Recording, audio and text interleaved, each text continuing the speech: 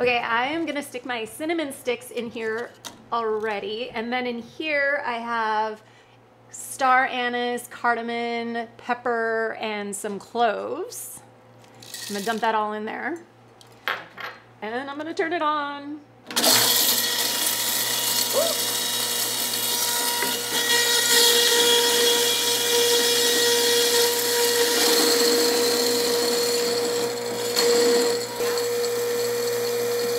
we got it. Thing where you request to join. Go ahead and Okay. finish it off. And Just Brett, gonna- are you rolling? Yep. All I'm gonna pour a little in here.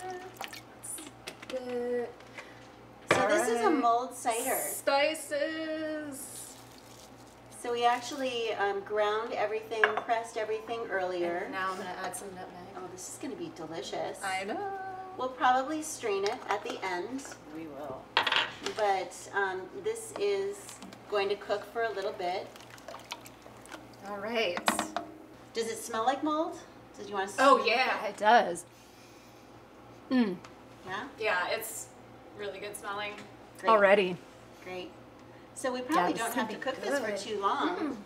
Oh wow! Here, let's show. Oops. All right. There we go. I thought Brett was gonna get some, but no. Well, Brenda That's has always some. fine. Brett can have it.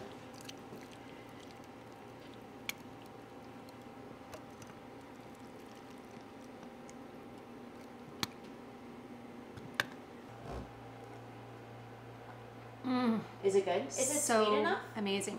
I think it is. It's got great tartness, it's got great sweetness, and it's got like all of those spices are coming in and All right, go ahead and try it.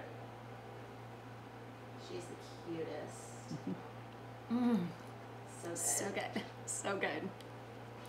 Isn't she the cutest? All right, I'm Jen did jazz hands after one. Okay.